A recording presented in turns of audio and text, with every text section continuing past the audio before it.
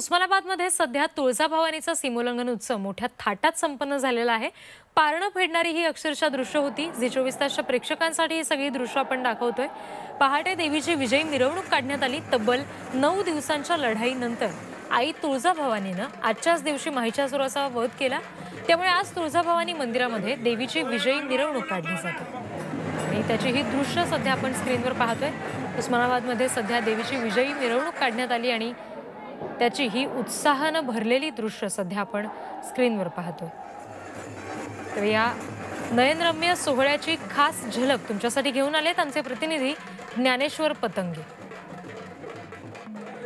नवरात्र महोत्सवचा शेवटचा दिवस म्हणजे आज विजयादशमी आणि आजच्या दिवशी नऊ दिवसाच्या युद्धानंतर देवी देवीची पूजा केली जाते आणि देवीची विजय मिरवणूक काढली जाते. आपण पाहू शकता हे सगळं दृश्य आपण जी चोवीस तासच्या माध्यमातून प्रेक्षकांना दाखवतो आहोत की देवीनं ह्या हे सगळ्या राक्षक राक्षसांवर विजय मिळवल्यानंतर आज देवीची एक मिरवणूक काढली जाते. देवीच्या मंदिराच्या परिसरामध्ये ही मिरवणूक असते.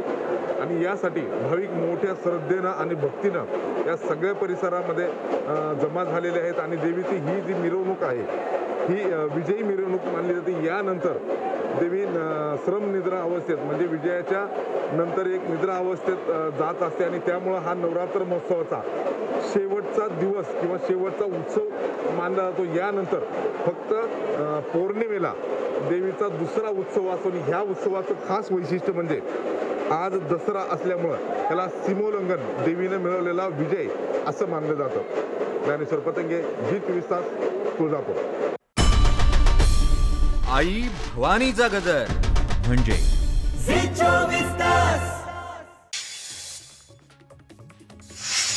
कोल्हापूरचा शाही दसरा यंदा सुद्धा साधेपणानं साजरा होणार आहे. हा सोहळा दरवर्षीप्रमाणे यंदा सुद्धा ऐतिहासिक दसरा चौकात साजरा केला जाणार आहे. पोलीस प्रशासनानं कोरोनाचे नियम पाळून हा सोहळा साजरा व्हावा या दृष्टीनं आता नियोजन केलेलं आहे.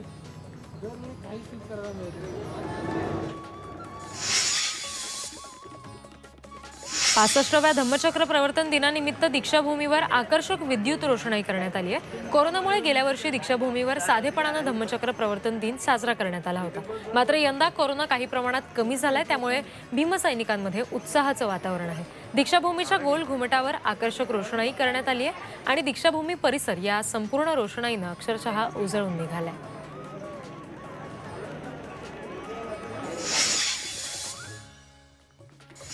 करवीर निवासिनी अंबाबाईची काल शिवदूती चामुंडेच्या रूपामध्ये पूजा बांधण्यात आली. नवमीच्या दिवशी शिवदूती चामुंडेच्या रूपामध्ये देवीची पूजा बांधण्यात येते.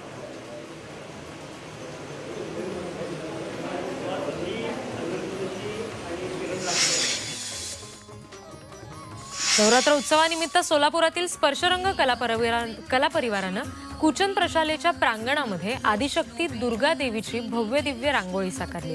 ही कलाकृती बनवण्यासाठी खडी आणि रंगाचा वापर करण्यात आलाय.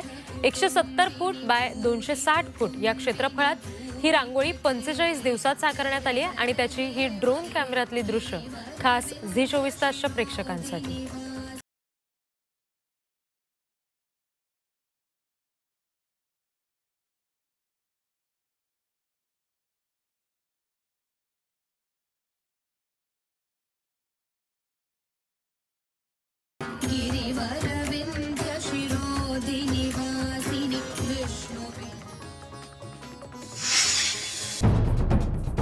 सह्याद्रीची उंची.